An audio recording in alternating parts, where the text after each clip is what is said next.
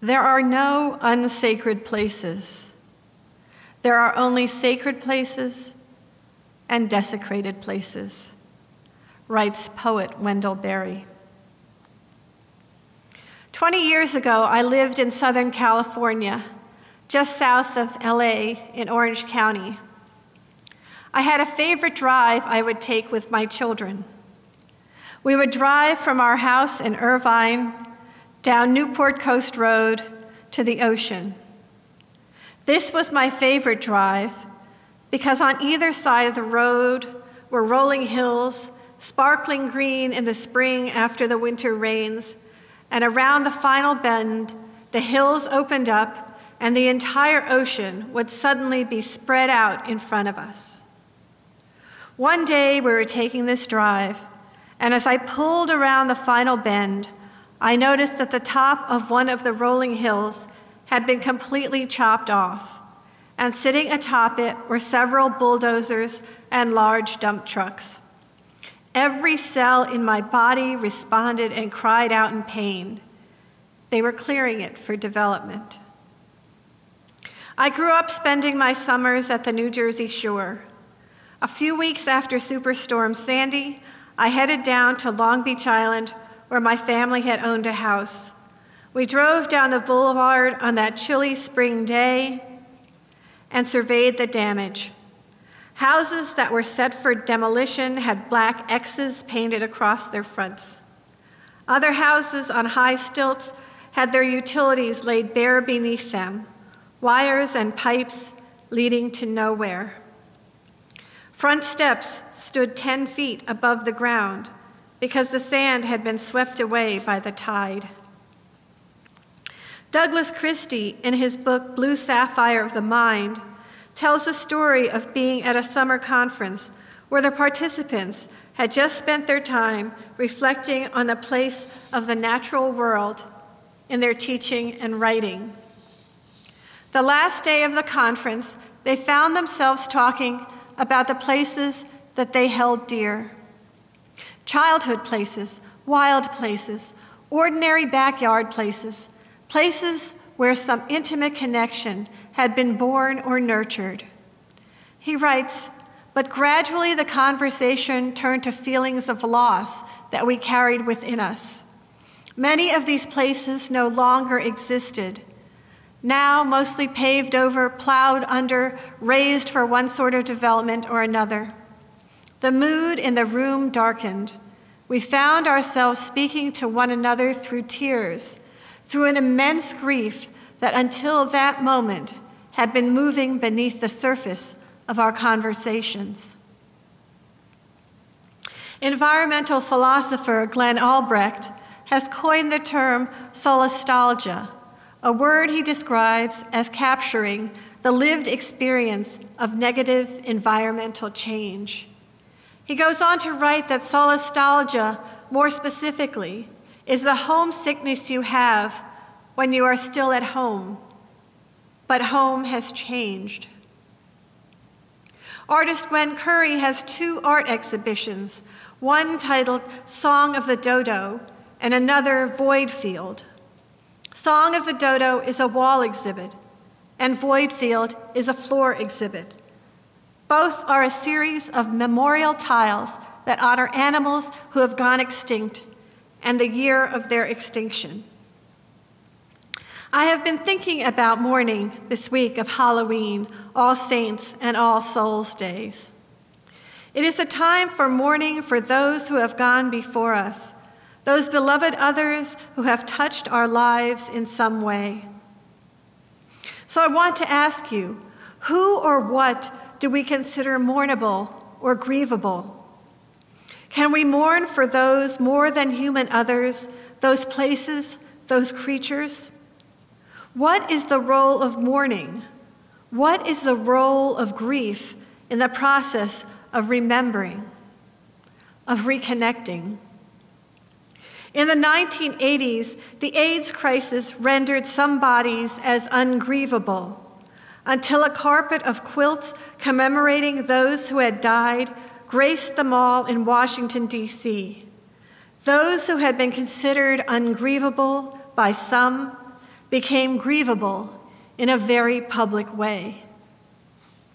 In the same way, the individual grief experiences of environmental degradation can be made public in ways that honor the depths of the loss.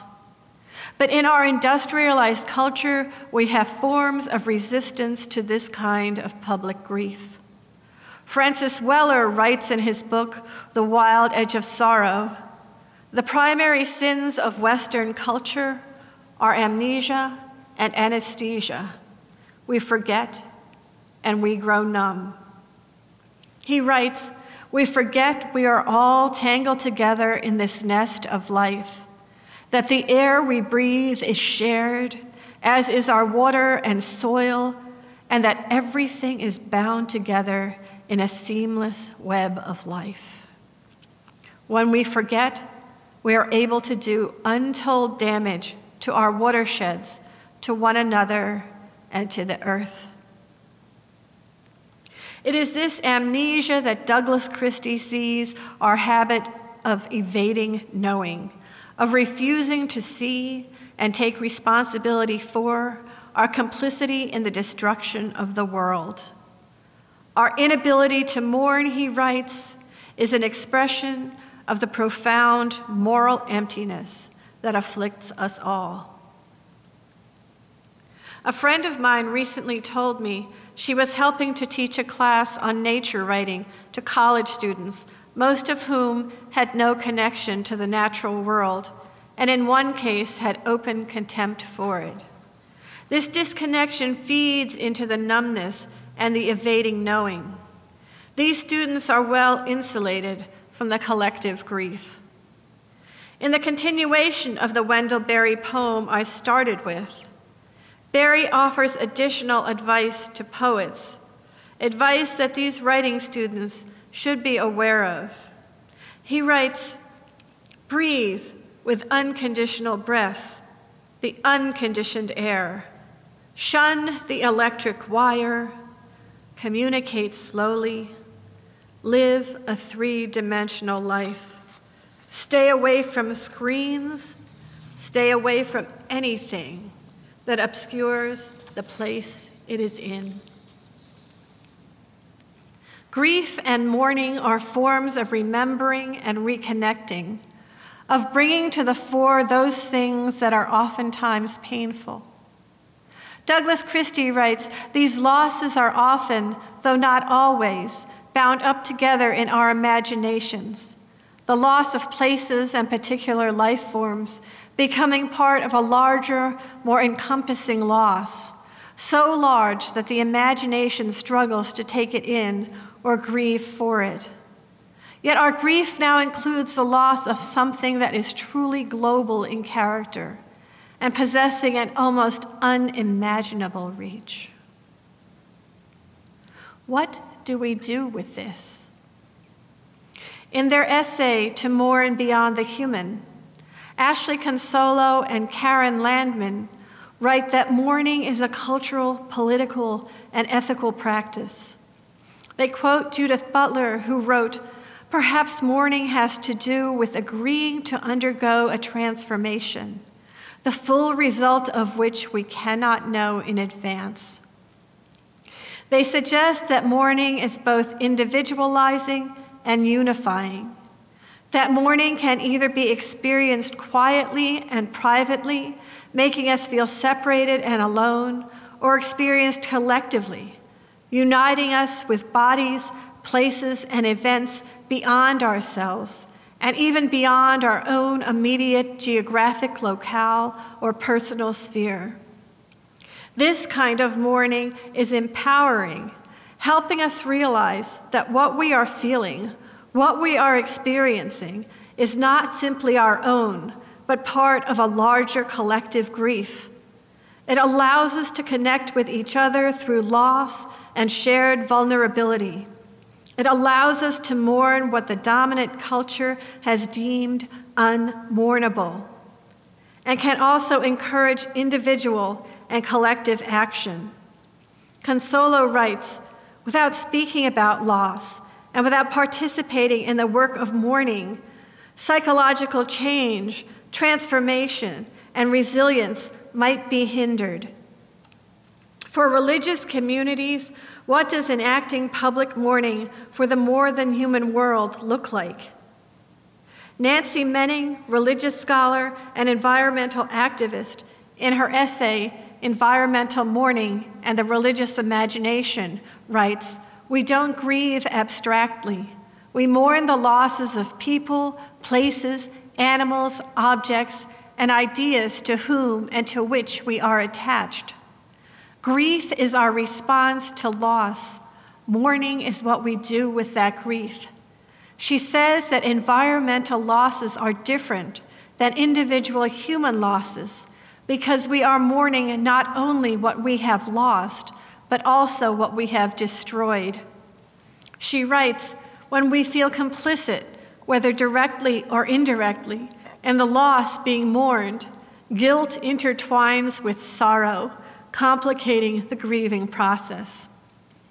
So she suggests that rituals around mourning environmental losses must be linked to the specificity of those losses, but they also need to address and transform feelings of guilt and remorse.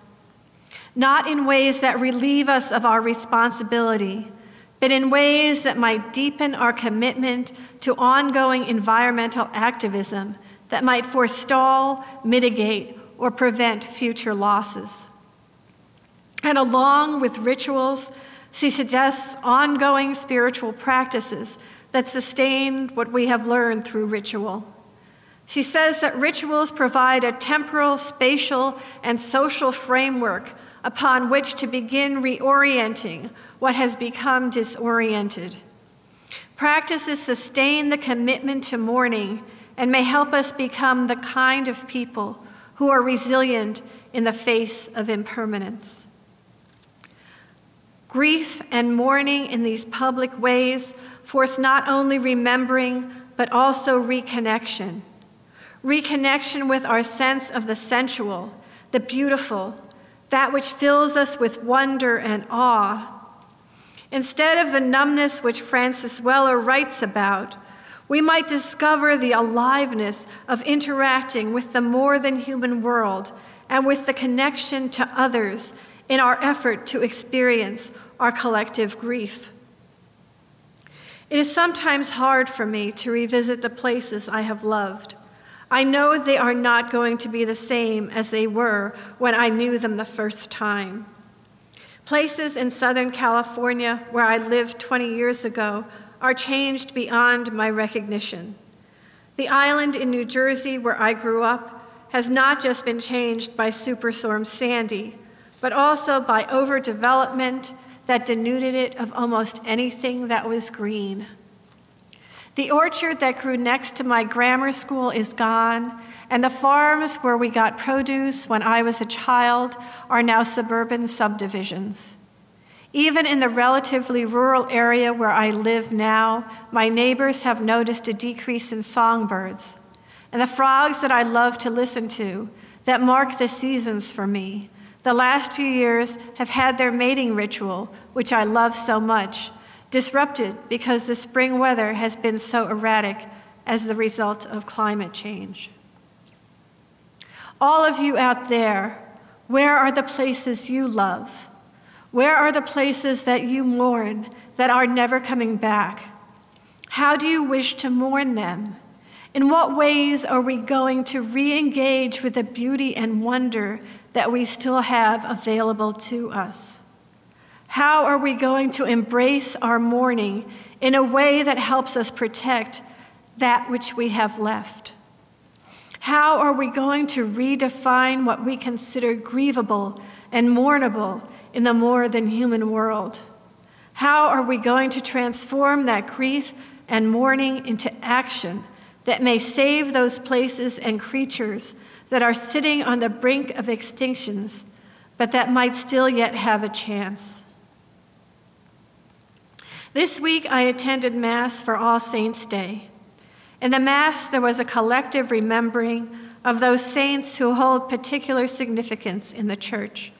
We sang this remembrance in what is called a litany of the saints. We brought them into the room with us St. Francis and Clare, obscure saints most people have forgotten, like Saints Athanasius and Cosmas. After singing a series of names, we would intone, Pray for us. The repeated line that breaks up the song is, All you holy men and women, pray for us. When we think of all the places and creatures that we also mourn, maybe we might like to call them into the room with us.